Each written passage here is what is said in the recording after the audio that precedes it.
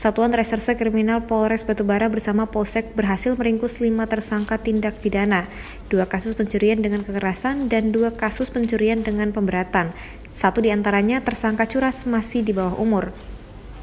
Kapolres Batubara AKBP Iwan Lubis mengatakan penangkapan tersebut merupakan keberhasilan dari Satreskrim Polres Batubara dan Polsek Indrapura, juga Polsek Labuhan Ruko, yang hanya dalam satu pekan berhasil mengungkap empat kasus. Kapolres Batubara juga menghimbau agar masyarakat Batubara tetap waspada saat mengendarai sepeda motor, jangan membawa tas atau handphone sehingga mengundang pelaku untuk berbuat kejahatan. Polres Batubara akan memberikan reward kepada personil yang berhasil mengungkap kasus tindak pidana curas dan curat, agar ke depan personil lebih profesional lagi dalam menjalani tugasnya. Di sini ada dua kasus 365 yang diungkap.